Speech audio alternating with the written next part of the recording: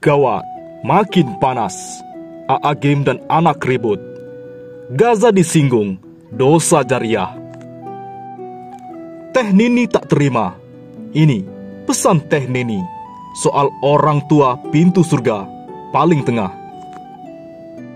Semakin memanas, konflik keluarga Ustadz Kondang Aagim tampaknya akan padam dalam waktu yang lama.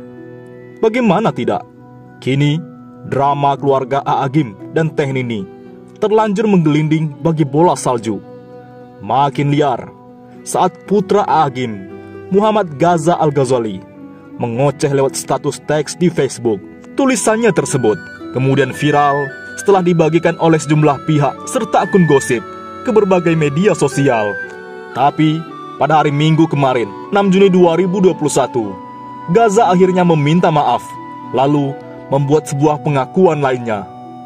Ia mengatakan dirinya terpaksa membongkar aib keluarga, terutama sang ayah, karena menemui jalan buntu untuk mengupayakan beragam cara untuk mengingatkan Aagim soal perilaku buruk terhadap ibunda tercintanya, Teh Nini. Nah, tak lama setelah tulisan belak-belakannya viral dan menjadi pembicaraan publik, Gaza pun membeberkan bahwa sejumlah pihak menyinggung serta mengingatkannya terkait bahaya dosa jariah. Uniknya, ia justru menanggapi hal tersebut secara positif dengan menganggapnya sebagai sebuah bentuk kebaktian pada orang tua, khususnya sang ayah. Kemudian Anda berbicara kepada saya tentang dosa jariah. Justru bagus dong. Semua dosa yang ayah saya lakukan kepada ibu saya, sekarang saya yang menanggungnya. Tulisnya, kurang berbakti apa saya? Begitu kan? Dalam kesempatan itu, Gaza turut menjelaskan bahwa ia telah mendatangkan ulama untuk menengahi masalah yang membelit Aagim dan Teh Nini. Namun, hasilnya tetap nihil lantaran sang ustadz kondang menganggap bahwa orang yang menasihatinya memiliki ilmu yang masih belum cukup. Alih-alih menemukan jalan keluar, Muhammad Gaza justru dicap sebagai anak yang sombong dan durhaka oleh Aagim. Di lain sisi, makin memanas. Teh Nini bicara soal perusak kebahagiaan. Setelah bungkam, akhirnya Teh Nini angkat bicara. Di tengah kisru antara putranya Muhammad Gaza Al-Ghazali dengan ayahnya, Aagim. Teh Nini sendiri bicara soal perusak kebahagiaan. Di antara perusak kebahagiaan dalam hidup adalah saat hati kehilangan rasa syukur. Kala kesyukuran hilang, pandangan akan terbutakan dari melihat aneka nikmat dari Allah. Lisan pun menjadi keluh dari memuji dan berterima kasih kepadanya. Tulis Teh Nini. Padahal, tidaklah berlalu suatu hari kecuali kita berada dalam limpahan karunia-Nya. Pernahkah kita mengalami situasi yang digambarkan Rasulullah Shallallahu Alaihi Wasallam berikut? Sedangkan dari lisan kita masih keluar keluh kesah. Teh Nini tak sampai di situ. Kembali disorot warganet. Kali ini gara-gara unggahannya di akun Instagram terverifikasi. Ia mengunggah gambar pintu warna putih menganga. Bayangkanlah, sebuah istana kita bisa masuki ke dalam lewat banyak pintu, depan, belakang, samping kiri, atau kanan. Di antara semua pintu, manakah yang paling besar, lagi paling terhormat untuk dimasuki? Pintu depanlah jawabannya. Tamu agung yang diundang raja akan disambut di gerbang istana. Pintu depan yang terletak paling tengah. Ulas teh ini, ibu tujuh anak ini, menghubungkan pintu tengah yang terbuka dengan bakti anak kepada orang tua merekalah yang akan memasuki pintu tengah, pintu yang paling mulia.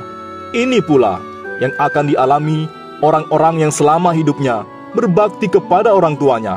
Allah Ta'ala akan memuliakannya dengan surga yang akan dimasukinya dari pintu paling tengah. Pintu paling mulia, cuitnya. Rasulullah Shallallahu Alaihi Wasallam bersabda, orang tua adalah pintu surga yang paling tengah. Terserah kamu sekalian. Hendak kalian telantarkan dia, atau hendak kalian menjaganya. Hadis riwayat Ahmad dan At-Tirmizi. Ia mengakhiri, ribuan warganet mengirim tanda hati untuk unggahan ini. Yang menarik, beberapa di antara mereka mengaitkan ini dengan nyanyian Gaza di Facebook sepanjang pekan ini. Teh, sehat selalu ya, dan semoga Gaza diberikan kesabaran. Bagaimanapun buruknya perangai seorang ayah, anak tetap harus hormat. Sebelumnya, Gaza mengaku sudah berbicara baik-baik kepada Aagim, mulai dari berdiskusi hingga meminta nasihat dari ulama. Tetapi, ia justru dicap sebagai anak durhaka. Bicara baik sudah, diskusi sudah, debat sudah, bicara dalil sudah, bicara kaul ulama sudah. Anda tahu apa hasilnya? Saya dicap sombong dan durhaka. Ibu saya semakin dibully, dibilang tak punya iman lah, tak punya ilmu untuk mengurus anak. Dan masih banyak lagi, merasa sudah melakukan berbagai cara. Gaza pun berharap suara netizen bisa lebih didengar oleh Aagim dibandingkan dirinya dan para ulama yang dinilai sang pendakwah belum memiliki ilmu yang cukup. Maaf barangkali suara Anda lebih didengar oleh ayah saya ketimbang suara saya dan para ulama yang dianggap ilmunya belum sampai, tulis Gaza. Di sisi lain, ia menilai membongkar sikap buruk Aagim kepada Teh Nini lewat media sosial sebagai cara terbaik untuk keluarganya. Namun, ia tetap ingin meminta maaf lantaran telah membuat heboh publik. Ya, cara saya lakukan ini salah. Saya meminta maaf kepada semuanya. Saya minta maaf atas kehebohan ini. Saya minta maaf kepada pihak mana pun yang merasa dirugikan. Namun, izinkan saya menyampaikan, meskipun cara ini bukanlah cara yang tepat, tapi ini cara terbaik untuk saat ini yang bisa saya lakukan pungkas Gaza. Nah, mendengar pengakuan terbaru Gaza yang kini dicap sombong dan durhaka oleh Aagim, netizen pun ramai memberikan tanggapan. Aagim pelaku, kok bisa nyalahin korban? Kan tidak rasional. Dasar. Miris ya, seorang dai kondang tega menyematkan durhaka kepada anak kandung. Tentu tidak mungkin ada asap jika tidak ada api. Itulah perlunya ustadz dan ulama terverifikasi agar tidak ada lagi ulama ustadz cuma pintar ngomong, tapi keluarganya berantakan. Kawin cerai, berpolitik, suka mengkafirkan.